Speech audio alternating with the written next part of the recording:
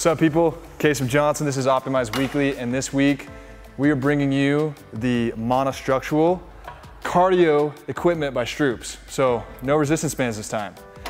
This is our line of conditioning equipment that you might not know about that we also sell to actually add value to your gym or your space that can act as a nice piece for conditioning. So we've got our rower, right? Nice rower, totally adjust, adjustable here for resistance. We've got our fan bike. So Stroops fan bike. And then we've also got the non, uh, non-propelled treadmill. So this is actually interesting. It's not electric, it's actually self-propelled. So as you run on it, you propel yourself forward. So these are basically staples in cardio and conditioning.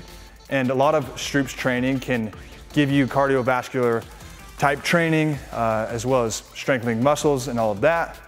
Uh, but you can want to add these, uh, especially because each one comes with a display that you actually can measure certain metrics like calorie expenditure or distance traveled or anything like that. So when you're looking at adding more beyond resistance bands or completing a full gym space, check out our conditioning equipment here.